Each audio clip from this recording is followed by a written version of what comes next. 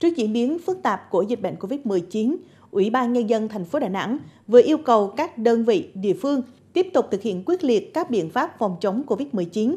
Trong đó, công tác cách ly, lấy mẫu xét nghiệm vẫn tiếp tục triển khai đối với các trường hợp có nguy cơ, phối hợp triển khai thực hiện các chỉ đạo của thành ủy, ủy ban nhân dân thành phố về công tác khai báo y tế toàn dân, tăng cường vận động, yêu cầu toàn bộ công chức, viên chức, người lao động và toàn thể người dân thực hiện nghiêm túc đầy đủ các biện pháp phòng chống COVID-19.